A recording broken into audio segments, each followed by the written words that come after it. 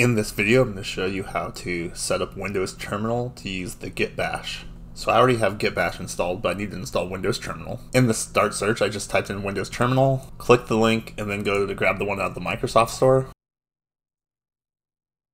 And just install it from there. And once that's installed, from here all we have to do is go down to this arrow, click Settings, and then this plus sign down here, add a new profile. And I don't want to duplicate any of these, I'll just create an empty profile. Set the name to git bash. I'll include these values in the description so that you can grab these. I'm going to uncheck use parent directory and set it to where my source normally goes. Then I'm going to set this icon and I'm going to leave the tab title blank.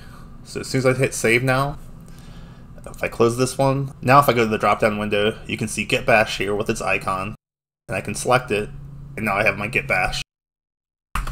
I have all the values I used in the description, but if this is helpful, give it a like, and I'll see you in the next video.